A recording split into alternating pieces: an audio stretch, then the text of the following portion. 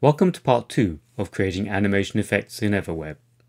In the first video, we looked at many ways in which you can use EverWeb to create some great animation effects for your web pages. In this video, we're going to show you more effects and give you some hints and tips on using animation with EverWeb. Let's start with the small business company. As you can see, there's a lot going on on this page, probably too much. It's difficult to know where to look and what to focus on. I've included this example to show you how easy it is to get carried away and overload the page so that it becomes just a jumble of effects. In the next example, there's still a lot going on, but it's more coherent, as the animation first focuses you on the top of the page, and then works its way down in a controlled manner. At the end, the text scrolls up to encourage us to read the text. The arrow that comes in is for the visitor to click on to go to the next page in John and Sarah's story. As you can see, the animation has been storyboarded to create a flow of events. In our next example, we have a web page that is promoting a band's tour. Images of the band members come in in a dramatic fashion. Then the tour date flashes, followed by a fade-in that shows where to focus to buy tickets. The main image comes in with the following settings.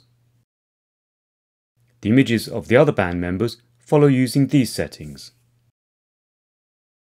The flashing date uses these settings. The next example shows you how to create a clouds passing by effect using the daycare theme template. Select one of the cloud images in the template and add the following animation settings to it. Next, copy and paste the cloud in a few times across the whole width of the page to create the effect. Remember that where you place the clouds is where they will be at the end of the animation.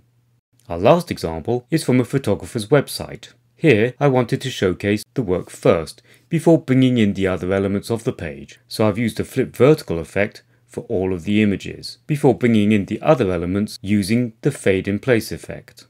The important thing about this page is that it uses different timings to give a subtle sweeping effect to the whole page. The timings in the examples I have shown you in this video are often down to one tenth of a second, as you can change the whole effect just by nudging the timing one tenth of a second more or one tenth of a second less in your animation.